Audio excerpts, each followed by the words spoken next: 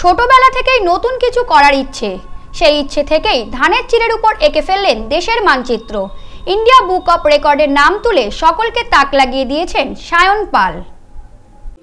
ধানের তৈরি চিড়ের ওপর দেশের মানচিত্র এঁকে সবাইকে একেবারে তাক লাগিয়ে দিলেন নদিয়ার শান্তিপুরের বাসিন্দা সায়ন পাল।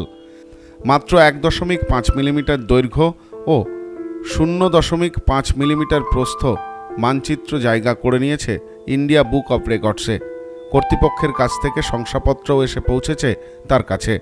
সায়নের এই সাফল্যে গর্বিত তার পরিবার ও শান্তিপুরবাসী। ছোটবেলা থেকেই ইচ্ছা ছিল গান করা ও ছবি আঁকা। নিজের সৃষ্টি কাজের মধ্যে দিয়ে নিজেকে তুলে ধরার এই অদম্য ইচ্ছাই তাকে সাফল্য এনে দিয়েছে দাবি সায়নের।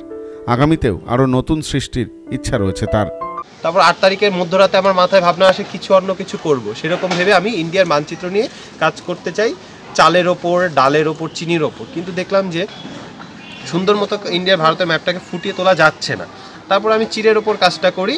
তারপরে সেটা নিয়ে আমি আট তারিখে যখন মানে কাজটা করে ওদেরকে ছবি পাঠাই। আট তারিখে ছবি মানে India India book of record ওয়েবসাইটে পাঠাই। তারা আমার কাছে ভিডিও মানে পরিমাপ, তারপরে আপনার কাজটা যে করেছে তার ভিডিও, কারণ তো জাজমেন্ট আসে না। কাজটার ভিডিও, দুটো উইটনেস সার্টিফিকেট চাই। আমি এইসব জিনিস তারপর দশ তারিখে আবার নতুন করে করে পাঠাই। দশই জানুয়ারি পাঠানোর পর চোদ্দোই জানুয়ারি আমার মেইলে আসে যে আমি India book of record holder নাম ওদের আন্ডারে আমি ভারতের সব থেকে ছোট মানচিত্র তৈরি করেছি। বাপ্পা দাসের রিপোর্ট নিউজ নোম্যান্সল্যান্ড শান্তিপুর।